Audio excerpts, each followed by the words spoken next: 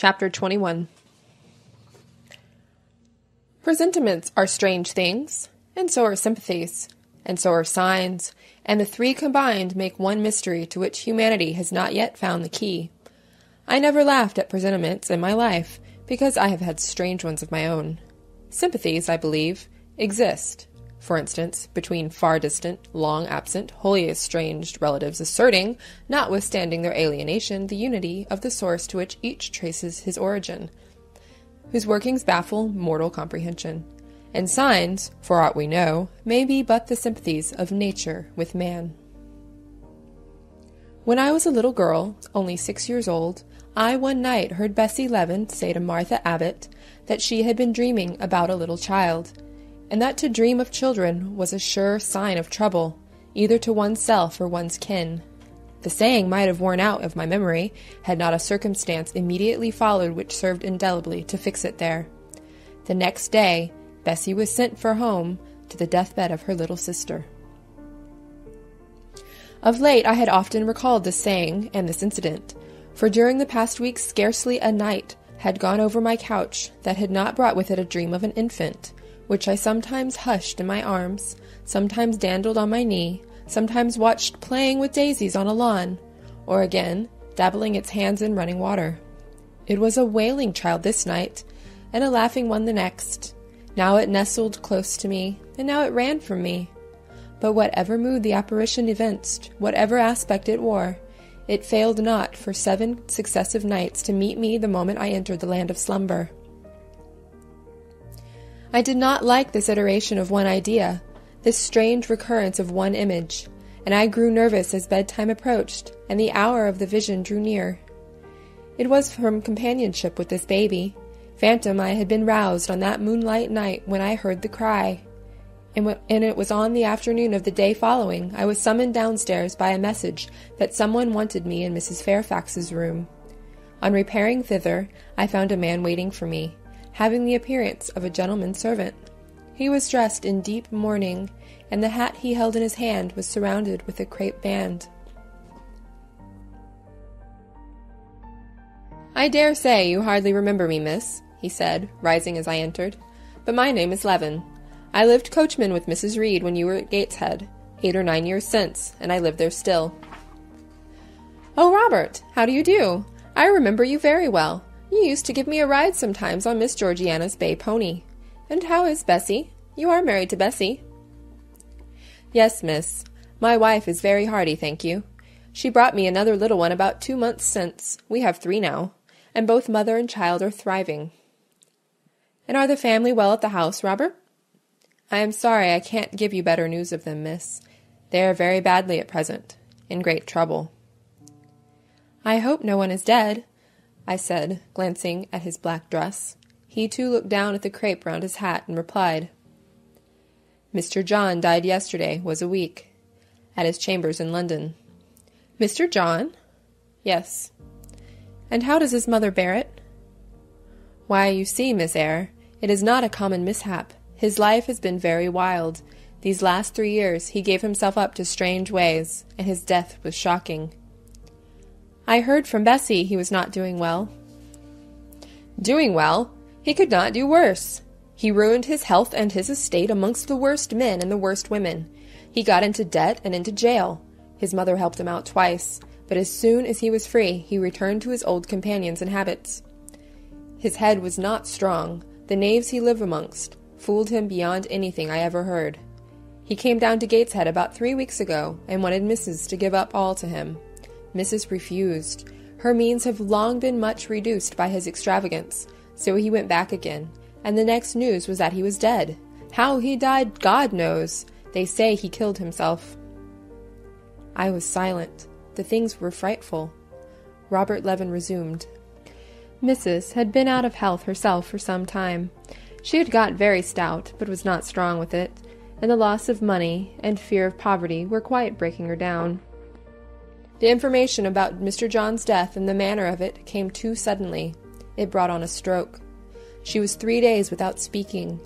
But last Tuesday she seemed rather better. She appeared as if she wanted to say something, and kept making signs to my wife and mumbling. It was only yesterday morning, however, that Bessie understood she was pronouncing your name, and at last she made out the words Bring Jane, fetch Jane Eyre, I want to speak to her. Bessie is not sure whether she is in her right mind, or means anything by the words, but she told Miss Reed and Miss Georgiana and advised them to send for you. The young ladies put it off at first, but their mother grew so restless and said, Jane, Jane, so many times that at last they consented. I left Gateshead yesterday, and if you can get ready, miss, I should like to take you back with me early tomorrow morning. Yes, Robert, I shall be ready. It seems to me that I ought to go. I think so too, miss. Bessie said she was sure you would not refuse, but I suppose you will have to ask leave before you can get off? Yes, and I will do it now.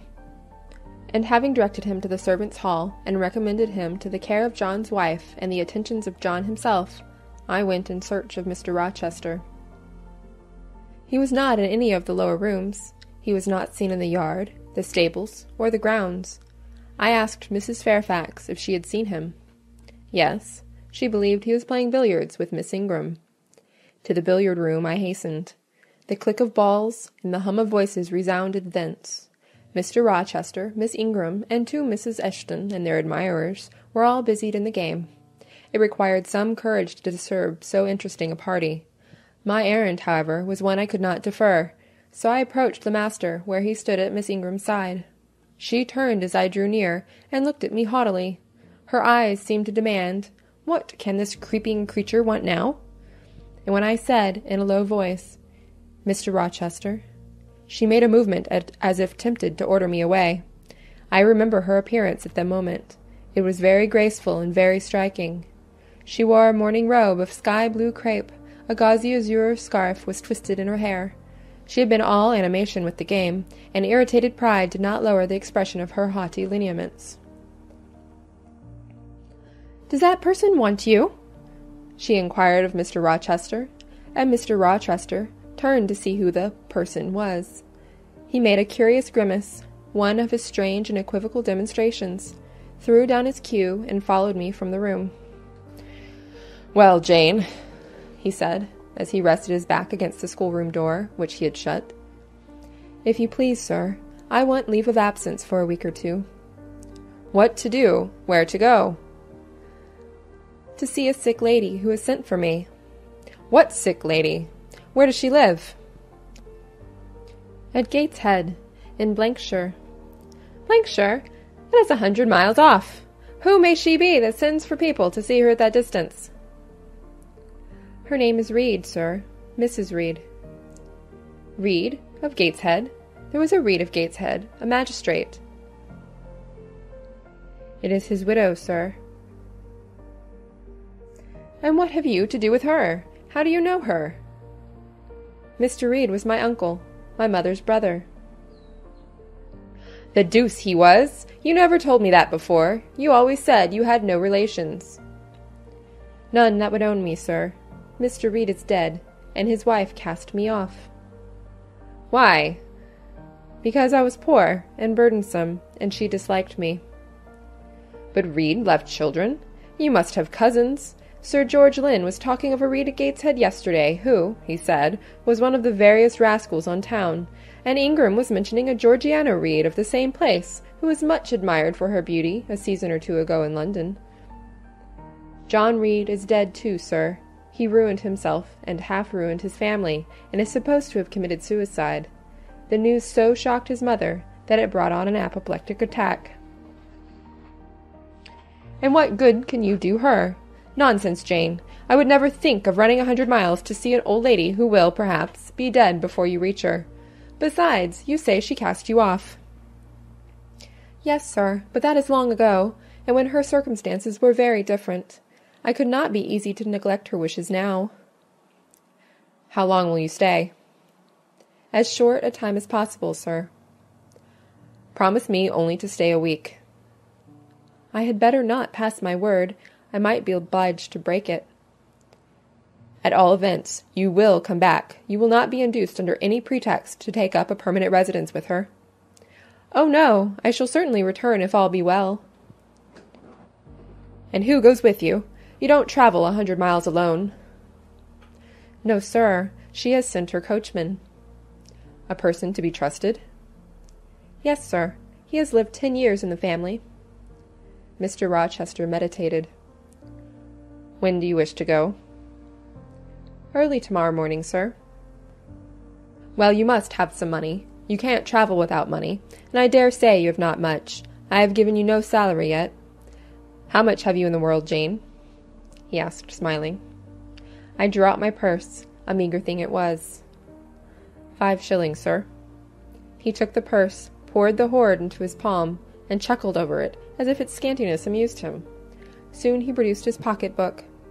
Here, said he, offering me a note. It was fifty pounds, and he owed me but fifteen. I told him I had no change. I don't want change, you know that. Take your wages. I declined accepting more than was my due. He scowled at first. Then, as if recollecting something, he said, Right, right. Better not give you all now. You would perhaps stay away three months if you had fifty pounds. There are ten. Is it not plenty? Yes, sir, but now you owe me five. Come back for it then. I am your banker for forty pounds. Mr. Rochester, I may as well mention another matter of business to you while I have the opportunity. Matter of business? I am curious to hear it. You have as good as informed me, sir, that you are going shortly to be married? Yes. What then? In that case, sir, Adele ought to go to school. I am sure you will perceive the necessity of it. To get her out of my bride's way, who might otherwise walk over her rather too emphatically? There's sense in the suggestion, not a doubt of it. Adele, as you say, must go to school. And you, of course, must march straight to the devil? I hope not, sir but I must seek another situation somewhere. In course, he exclaimed, with a twang of voice and a distortion of features equally fantastic and ludicrous. He looked at me some minutes. And old Madam Reed, or the missus, her daughters, will be solicited by you to seek a place, I suppose? No, sir. I am not on such terms with my relatives as would justify me in asking favors of them. But I shall advertise. You shall walk up the pyramids of Egypt, he growled. At your peril you advertise. I wish I had only offered you a sovereign instead of ten pounds. Give me back nine pounds, Jane. I've a use for it. And so have I, sir, I returned, putting my hands in my purse behind me. I could not spare the money on any account. Little niggard, said he, refusing me a pecuniary request. Give me five pounds, Jane. Not five shillings, sir, nor five pence. Just let me look at the cash. No, sir, you are not to be trusted. Jane. Sir? Promise me one thing. I'll promise you anything, sir, that I think I am likely to perform. Not to advertise, and to trust this quest of a situation to me. I'll find you one in time. I shall be glad so to do, sir, if you, in your turn, will promise that I and Adele shall be both safe out of the house before your bride enters it. Very well, very well. I'll pledge my word on it. You go tomorrow, then? Yes, sir, early. Shall you come down to the drawing room after dinner? No, sir. I must prepare for the journey. Then you and I must bid good-bye for a little while. I suppose so, sir. And how do people perform that ceremony of parting, Jane? Teach me. I'm not quite up to it. They say, farewell, or any other form they prefer. Then say it. Farewell, Mr. Rochester, for the present. What must I say? The same, if you like, sir. Farewell, Miss Eyre, for the present. Is that all? Yes. It seems stingy to my notions, and dry and unfriendly. I should like something else a little addition to the rite. If one shook hands, for instance. But no, that would not content me either. So you'll do no more than say farewell, Jane? It is enough, sir. As much goodwill may be conveyed in one hearty word as in many. Very likely. But it is blank and cool. Farewell. How long is he going to stand with his back against that door? I ask myself. I want to commence my packing. The dinner bell rang. and suddenly away he bolted without another syllable. I saw him no more during the day, and was off before he had risen in the morning. I reached the lodge at Gateshead about five o'clock in the afternoon of the first of May. I stepped in there before going up to the hall. It was very clean and neat. The ornamental windows were hung with little white curtains. The floor was spotless. The grate and fire irons were burnished bright, and the fire burnt clear. Bessie sat on the hearth, nursing her last born, and Robert and his sister played quietly in a corner. Bless you! I knew you would come, exclaimed Mrs. Leaven as I entered. Yes, Bessie, said I, after I had kissed her, and I trust I am not too late. How is Mrs. Reed?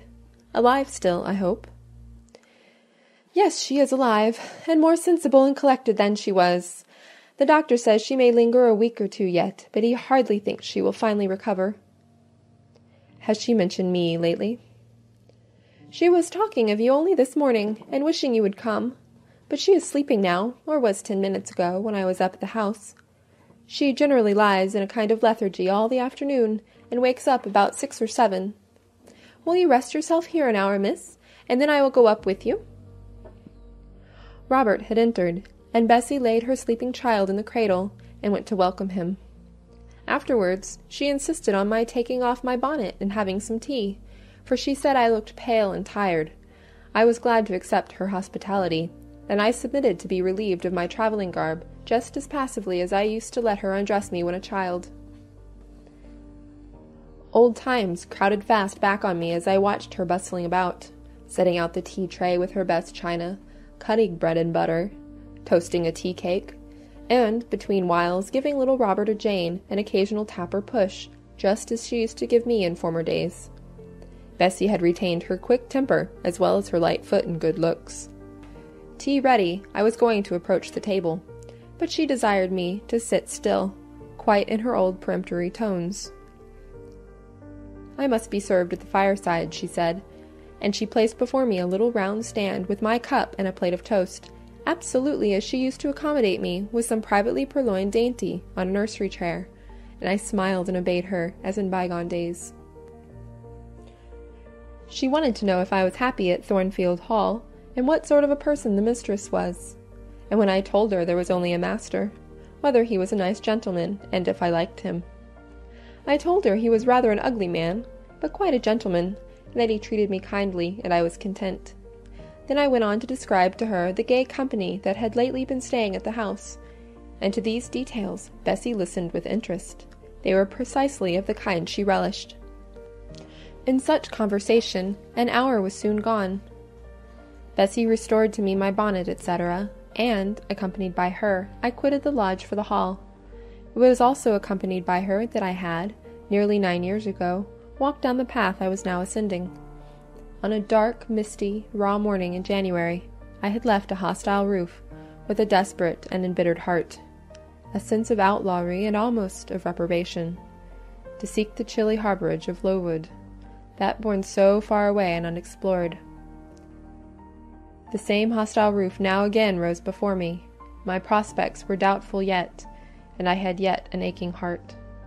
I still felt as a wanderer on the face of the earth, but I experienced firmer trust in myself and my own powers, and less withering dread of oppression. The gaping wound of my wrongs, too, was now quite healed, and the flame of resentment extinguished. You shall go into the breakfast room first, said Bessie, as she preceded me through the hall. The young ladies will be there. In another moment I was within that apartment. There was every article of furniture looking just as it did on the morning I was first introduced to Mr. Brocklehurst. The very rug he had stood upon still covered the hearth. Glancing at the bookcases, I thought I could distinguish the two volumes of Bewick's British Birds occupying their old place on the third shelf, and Gulliver's Travels, and the Arabian Nights ranged just above. The inanimate objects were not changed, but the living things had altered past recognition. Two young ladies appeared before me, one very tall, almost as tall as Miss Ingram, very thin, too, with a sallow face and severe mien. There was something ascetic in her look, which was augmented by the extreme plainness of a straight skirted, black, stuff dress, a starched linen collar, hair combed away from the temples, and the nun like ornament of a string of ebony beads and a crucifix. This, I felt sure, was Eliza, though I could trace little resemblance to her former self in that elongated and colorless visage. The other was as certainly Georgiana, but not the Georgiana I remembered, the slim and fairy like girl of eleven. This was a full blown, very plump damsel, fair as waxwork, with handsome and regular features, languishing blue eyes, and ringleted yellow hair.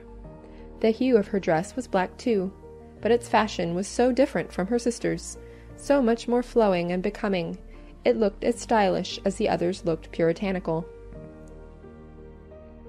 In each of the sisters there was one trait of the mother, and only one. The thin and pallid elder daughter had her parents' cairngorm eye.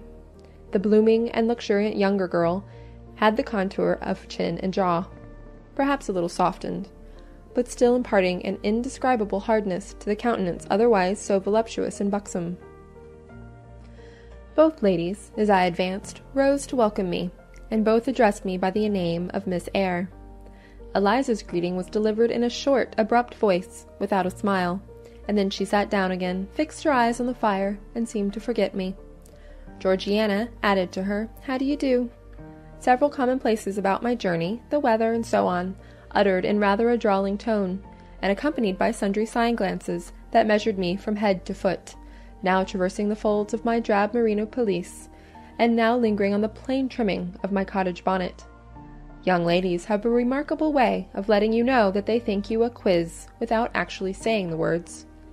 A certain superciliousness of look, coolness of manner, nonchalance of tone, express fully their sentiments on the point, without committing them by any positive rudeness in word or deed. A sneer, however, whether covert or open, had now no longer that power over me it once possessed. As I sat between my cousins, I was surprised to find how easy I felt under the total neglect of the one and the semi sarcastic attentions of the other. Eliza did not mortify, nor Georgiana ruffle me. The fact was, I had other things to think about. Within the last few months, feelings had been stirred in me so much more potent than any they could raise. Pains and pleasures so much more acute and exquisite had been excited than any it was in their power to inflict or bestow, that their errors gave me no concern either for good or bad. How is Mrs. Reed? I asked soon, looking calmly at Georgiana, who thought it fit to bridle at the direct address, as if it were an unexpected liberty. Mrs. Reed? Ah, mamma, you mean. She is extremely poorly. I doubt if you can see her tonight. If, said I, you would just step upstairs and tell her I am come, I should be much obliged to you. Georgiana almost started, and she opened her blue eyes wild and wide. I know she had a particular wish to see me, I added, and I would not defer attending to her desire longer than is absolutely necessary. Mamma dislikes being disturbed in an evening, remarked Eliza. I soon rose, quietly took off my bonnet and gloves, uninvited, and said I would just step out to Bessie, who was, I dared say, in the kitchen, and ask her to ascertain whether Mrs. Reed was disposed to receive me or not tonight. I went, and having found Bessie and dispatched her on my errand, I proceeded to take further measures. It had heretofore been my habit always to shrink from arrogance. Received as I had been today, I should, a year ago, have resolved to quit Gateshead the very next morning. Now it was disclosed to me all at once that that would be a foolish plan. I had taken a journey of a hundred miles to see my aunt, and I must stay with her till she was better, or dead. As to her daughter's pride or folly, I must put it on one side, make myself independent of it. So I addressed the housekeeper, asked her to show me a room, told her I should probably be a visitor here for a week or two, had my trunk conveyed to my chamber, and followed it thither myself. I met Bessie on the landing. Missus is awake, said she. I have told her you are here. Come and let us see if she will know you. I did not need to be guided to the well known room, to which I had so often been summoned for chastisement or reprimand in former days. I hastened before Bessie. I softly opened the door. A shaded light stood on the table, for it was now getting dark. There was the great four post bed, with amber hangings as of old. There the toilet table, the armchair, and the footstool, at which I had a hundred times been sentenced to kneel, to ask pardon for offences by me uncommitted. I looked into a certain corner near, half expecting to see the slim outline of a once dreaded switch which used to lurk there, waiting to leap out imp like and lace my quivering palm or shrinking neck. I approached the bed. I opened the curtains and leant over the high piled pillows. Well did I remember Mrs. Reed's face, and I eagerly sought the familiar image. It is a happy thing that time quells the longings of vengeance and hushes the promptings of rage and aversion. I had left this woman in bitterness and hate, and I came back to her now with no other emotion than a sort of ruth for her great sufferings, and a strong yearning to forget and forgive all injuries, to be reconciled and clasp hands in amity. The well known face was there, stern, relentless as ever. There was that peculiar eye which nothing could melt, and the somewhat raised, imperious, despotic eyebrow. How often had it lowered on me menace and hate! And how the recollection of childhood's terrors and sorrows revived as I traced its harsh line now! And yet I stooped down and kissed her. She looked at me. Is this Jane Eyre? she said. Yes, Aunt Reed. How are you, dear aunt? I had once vowed that I would never call her aunt again. I thought it no sin to forget and break that vow now. My fingers had fastened on her hand which lay outside the sheet. Had she pressed mine kindly, I should at that moment have experienced true pleasure. But unimpressionable natures are not soon softened, nor are natural antipathies so readily eradicated. Mrs. Reed took her hand away, and, turning her face rather from me, she remarked that the night was warm. Again she regarded me so icily, I felt at once that her opinion of me, her feeling towards me, was unchanged and unchangeable. I knew by her stony eye, opaque to tenderness, indissoluble to tears, that she was resolved to consider me bad to the last, because to believe me good would give her no generous pleasure only a sense of mortification. I felt pain, and then I felt ire, and then I felt a determination to subdue her, to be her mistress in spite both of her nature and her will. My tears had risen, just as in childhood. I ordered them back to their source. I brought a chair to the bed head and sat down and leaned over the pillow. You sent for me, I said, and I am here and it is my intention to stay till I see how you get on. Oh, of course, you have seen my daughters. Yes. Well, you may tell them I wish you to stay till I can talk some things over with you I have in my mind. Tonight it is too late, and I have a difficulty in recalling them. But there was something I wished to say. Let me see. The wandering look and changed utterance told what wreck had taken place in her once vigorous frame. Turning restlessly, she drew the bedclothes round her. My elbow, resting on a corner of the quilt, fixed it down. She was at once irritated. Sit up, said she. Don't annoy me with holding the clothes fast. Are you Jane Eyre? I am Jane Eyre. I have had more trouble with that child than any one would believe. Such a burden to be left on my hands! And so much annoyance as she caused me, daily and hourly, with her incomprehensible disposition, and her sudden starts of temper, and her continual unnatural watchings of one's movements. I declare she talked to me once like something mad, or like a fiend.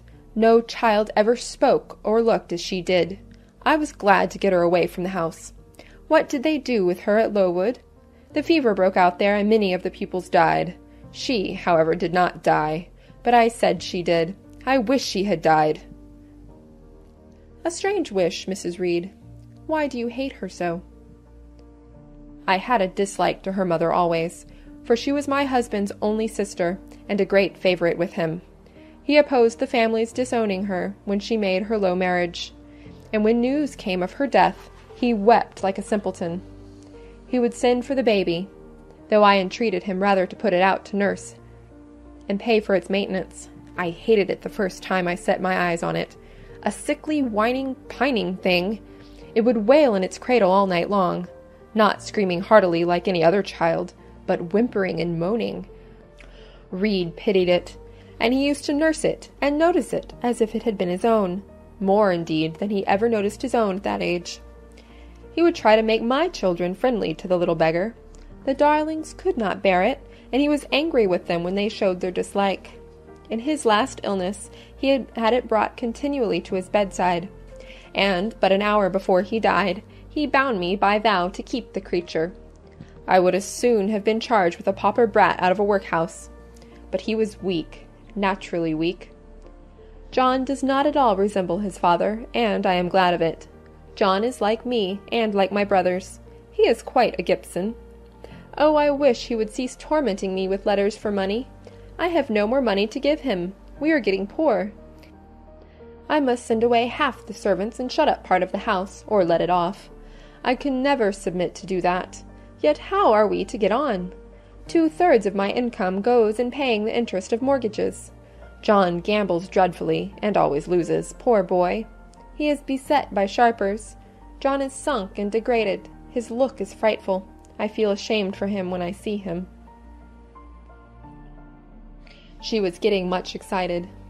I think I had better leave her now, said I to Bessie, who stood on the other side of the bed. Perhaps you had, miss, but she often talks in this way towards night. In the morning she's calmer. I rose. Stop! exclaimed Mrs. Reed. There is another thing I wish to say.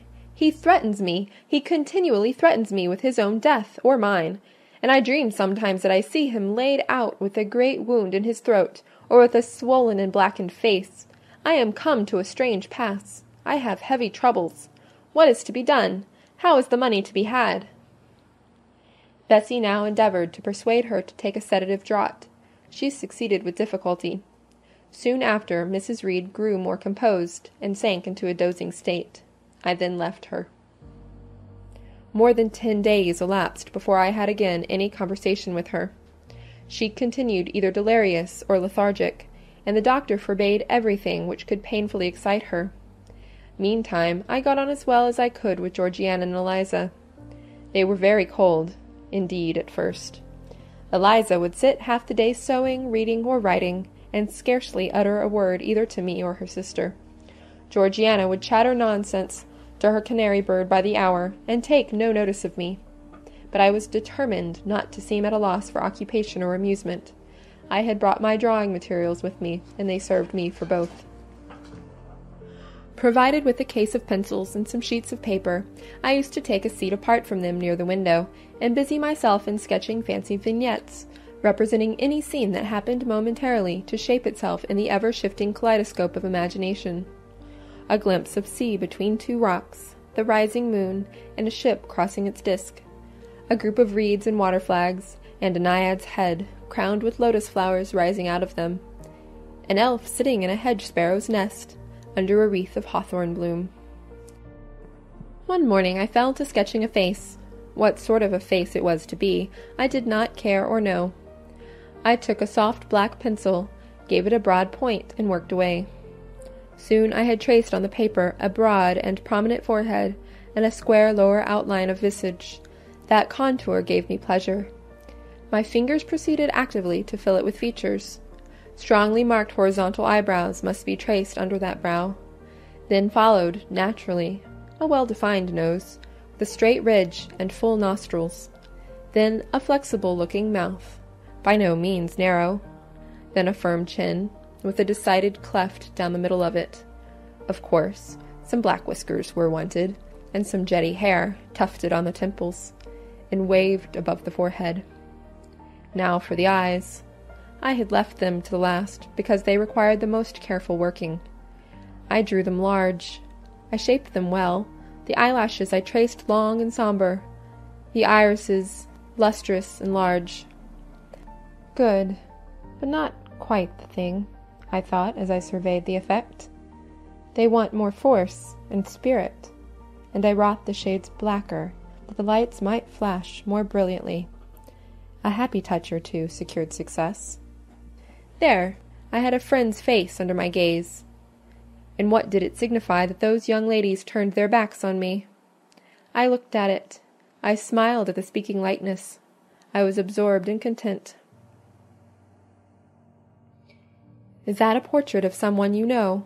asked Eliza, who had approached me unnoticed. I responded that it was merely a fancy head, and hurried it beneath the other sheets. Of course I lied. It was, in fact, a very faithful representation of Mr. Rochester. But what was that to her, or to anyone but myself? Georgiana also advanced to look. The other drawings pleased her much, but she called that an ugly man. They both seemed surprised at my skill. I offered to sketch their portraits, and each, in turn, sat for a pencil outline. Then Georgiana produced her album. I promised to contribute a watercolor drawing. This put her at once into good humor. She proposed a walk in the grounds. Before we had been out two hours, we were deep in confidential conversation. She had favored me with a description of the brilliant winter she had spent in London two seasons ago, of the admiration she had there excited, the attention she had received, and I even got hints of the titled conquest she had made. In the course of the afternoon and evening these hints were enlarged on. Various soft conversations were reported and sentimental scenes represented. And, in short, a volume of a novel of fashionable life was that day improvised by her for my benefit. The communications were renewed from day to day. They always ran on the same theme herself, her loves and woes. It was strange she never once adverted either to her mother's illness, or her brother's death, or the present gloomy state of the family's prospects. Her mind seemed wholly taken up with reminiscences of past gaiety, and aspirations after dissipations to come. She passed about five minutes each day in her mother's sick room, and no more. Eliza still spoke little. She had evidently no time to talk. I never saw a busier person than she seemed to be. Yet it was difficult to say what she did, or rather, to discover any result of her diligence. She had an alarm to call her up early. I know not how she occupied herself before breakfast, but after that meal she divided her time into regular portions, and each hour had its allotted task. Three times a day she studied a little book, which I found, on inspection, was a common prayer book. I asked her once what was the great attraction of that volume, and she said, The rubric. Three hours she gave to stitching, with gold thread, the border of a square crimson cloth, almost large enough for a carpet. In answer to my inquiries after the use of this article, she informed me it was a covering for the altar of a new church lately erected near Gateshead. Two hours she devoted to her diary, two to working by herself in the kitchen garden, and one to the regulation of her accounts. She seemed to want no company, no conversation. I believe she was happy in her way. This routine sufficed for her, and nothing annoyed her so much as the occurrence of any incident which forced her to vary its clockwork regularity. She told me one evening, when more disposed to be communicative than usual, that John's conduct and the threatened ruin of the family had been a source of profound affliction to her, but she had now, she said, settled her mind and formed her resolution.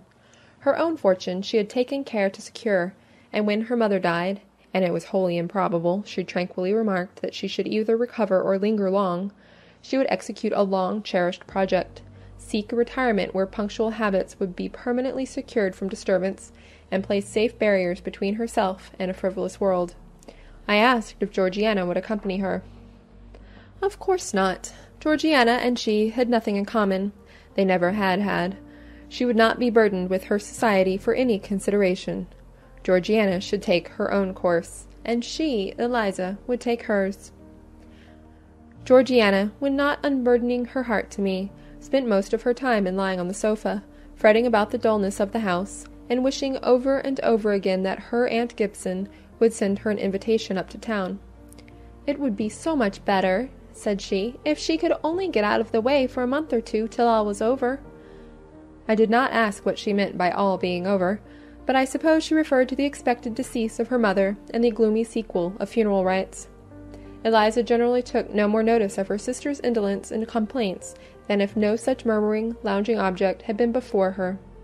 One day, however, as she put away her account book and unfolded her embroidery, she suddenly took her up thus Georgiana, a more vain and absurd animal than you was certainly never allowed to cumber the earth. You had no right to be born, for you make no use of life. Instead of living for, in, and with yourself as a reasonable being ought, you seek only to fasten your feebleness on some other person's strength. If no one can be found willing to unburden her or himself with such a fat, weak, puffy, useless thing, you cry out that you are ill treated, neglected, miserable. Then, too, existence for you must be a scene of continual change and excitement, or else the world is a dungeon. You must be admired, you must be courted, you must be flattered. You must have music, dancing, and society, or you languish, you die away. Have you no sense to devise a system which will make you independent of all efforts and all wills but your own? Take one day, share it into sections, to each section apportion its task. Leave no stray unemployed quarters of an hour, ten minutes, five minutes, include all. Do each piece of business in its turn with method, with rigid regularity. The day will close almost before you are aware it has begun, and you are indebted to no one for helping you to get rid of one vacant moment. You have had to seek no one's company, conversation, sympathy, forbearance. You have lived, in short, as an independent being ought to do. Take this advice, the first and last I shall offer you. Then you will not want me or anyone else, happen what may. Neglect it, Go on as heretofore craving, whining, and idling, and suffer the results of your idiocy, however bad and insuperable they may be. I tell you this plainly, and listen, for though I shall no more repeat what I am now about to say, I shall steadily act on it. After my mother's death, I wash my hands of you. From the day her coffin is carried to the vault in Gateshead Church, you and I will be as separate as if we had never known each other. You need not think that because we chance to be born of the same parents I shall suffer you to fasten me down by even the feeblest claim. I can tell you this if the whole human race, ourselves excepted, were swept away, and we too stood alone on the earth, I would leave you in the old world and betake myself to the new. She closed her lips. You might have spared yourself the trouble of delivering that tirade, answered Georgiana. Everybody knows you are the most selfish, heartless creature in existence, and I know your spiteful hatred towards me. I have had a specimen of it before in the trick you played me about Lord Edwin Vere. You could not bear me to be raised above you, to have a title, to be received into circles where you dare not show your face, and so you acted the spy and informer, and ruined my prospects forever. Georgiana took out her handkerchief and blew her nose for an hour afterwards. Eliza sat cold, impassible, and assiduously industrious. True, generous feeling is made small account of by some, but here were two natures rendered, the one intolerably acrid, the other despicably savourless for the want of it. Feeling without judgment is a washy draught indeed, but judgment untempered by feeling is too bitter and husky a morsel for human deglutition. It was a wet and windy afternoon, Georgiana had fallen asleep on the sofa over the perusal of a novel. Eliza was gone to attend a Saint's Day service at the new church. For in matters of religion she was a rigid formalist. No weather ever prevented the punctual discharge of what she considered her devotional duties. Fair or foul, she went to church thrice every Sunday, and as often on weekdays as there were prayers. I bethought myself to go upstairs and see how the dying woman sped who lay there almost unheeded. The very servants paid her but a remittent attention. The hired nurse, being little looked after, would slip out of the room whenever she could. Bessie was faithful, but she had her own family to mind, and could only come occasionally to the hall. I found the sick room unwatched, as I had expected. No nurse was there. The patient lay still and seemingly lethargic, her livid face sunk in the pillows. The fire was dying in the grate. I renewed the fuel, rearranged the bedclothes, gazed a while on her who could not now gaze on me, and then I moved away to the window. The rain beat strongly against the panes, the wind blew tempestuously. One lies there, I thought, who will soon be beyond the war of earthly elements. Whither will that spirit, now struggling to quit its material tenement, flit when at length released? In pondering the great mystery, I thought of Helen Burns. recalled her dying words, her faith, her doctrine of the equality of disembodied souls. I was still listening in thought to her well remembered tones, still picturing her pale and spiritual aspect, her wasted face and sublime gaze, as she lay on her placid deathbed, and whispered her longing to be restored to her divine Father's bosom, when a feeble voice murmured from the couch behind, Who is that? I knew Mrs. Reed had not spoken for days. Was she reviving? I went up to her. It is I, Aunt Reed. Who? I? was her answer. Who are you? Looking at me with surprise and a sort of alarm, but still not wildly. You are quite a stranger to me. Where is Bessie? She is at the lodge, Aunt. Aunt, she repeated. Who calls me aunt? You are not one of the Gibsons, and yet I know you. That face, and the eyes and forehead, are quite familiar to me. You are like. Why, you are like Jane Eyre! I said nothing. I was afraid of occasioning some shock by declaring my identity. Yet, said she, I am afraid it is a mistake. My thoughts deceive me. I wished to see Jane Eyre, and I fancy a likeness where none exists. Besides, in eight years she must be so changed. I now gently assured her that I was the person she supposed and desired me to be, and seeing that I was understood, and that her senses were quite collected, I explained how Bessie had sent her husband to fetch me from Thornfield.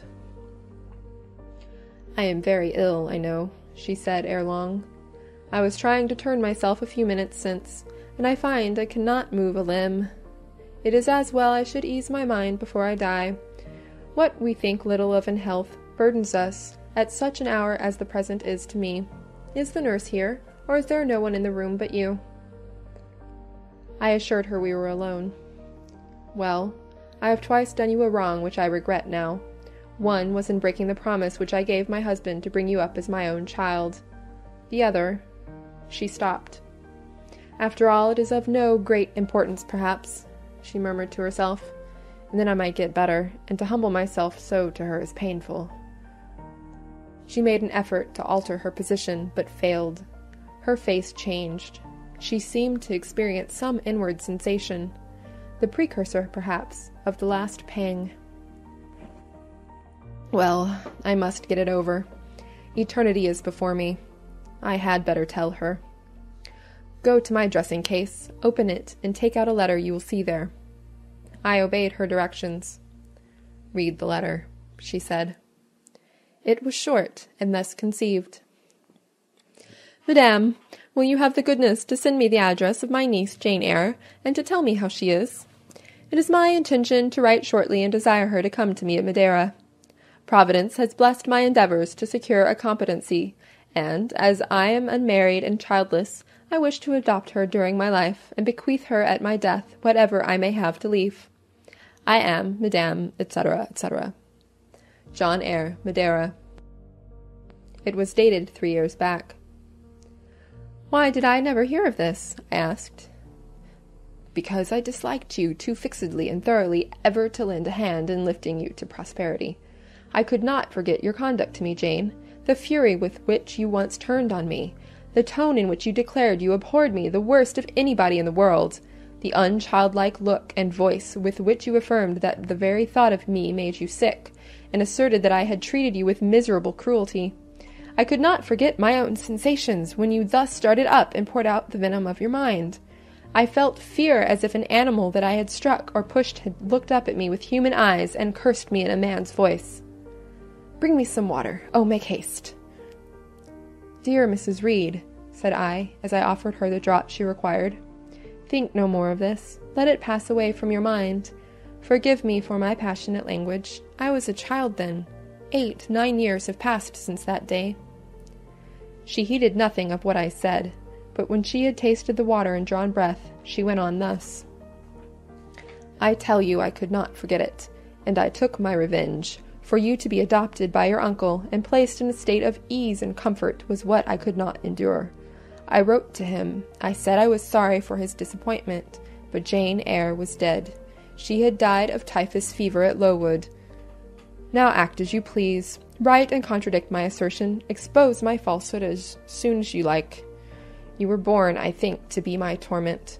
My last hour is racked by the recollection of a deed which, but for you, I should never have been tempted to commit. If you could but be persuaded to think no more of it, aunt, and to regard me with kindness and forgiveness. You have a very bad disposition, said she and one to this day I feel it impossible to understand. How for nine years you could be patient and quiescent under any treatment, and in the tenth break out all fire and violence, I can never comprehend. My disposition is not so bad as you think. I am passionate, but not vindictive. Many a time, as a little child, I should have been glad to love you, if you would have let me, and I long earnestly to be reconciled to you now. Kiss me, aunt. I approached my cheek to her lips. She would not touch it. She said I oppressed her by leaning over the bed, and again demanded water. As I laid her down, for I raised her and supported her on my arm while she drank, I covered her ice cold and clammy hand with mine. The feeble fingers shrank from my touch. The glazing eyes shunned my gaze. Love me, then, or hate me as you will, I said at last. You have my full and free forgiveness. Ask now for God's, and be at peace. Poor, suffering woman! It was too late for her to make now the effort to change her habitual frame of mind. Living, she had ever hated me. Dying, she must hate me still. The nurse now entered, and Bessie followed. I yet lingered half an hour longer, hoping to see some sign of amity, but she gave none. She was fast relapsing into stupor. Nor did her mind again rally. At twelve o'clock that night she died. I was not present to close her eyes, nor were either of her daughters. They came to tell us the next morning that all was over. She was by that time laid out. Eliza and I went to look at her. Georgiana, who had burst out into loud weeping, said she dared not go. There was stretched, Sarah Reed's once robust and active frame, rigid and still. Her eye of flint was covered with its cold lid. Her brow and strong traits wore yet the impress of her inexorable soul. A strange and solemn object was that corpse to me. I gazed on it with gloom and pain. Nothing soft, nothing sweet, nothing pitying or hopeful or subduing did it inspire only a grating anguish for her woes, not my loss, and a somber, tearless dismay at the fearfulness of death in such a form. Eliza surveyed her parent calmly. After a silence of some minutes, she observed, With her constitution, she should have lived to a good old age. Her life was shortened by trouble. And then a spasm constricted her mouth for an instant, as it passed away, she turned and left the room, and so did I. Neither of us had dropped a tear.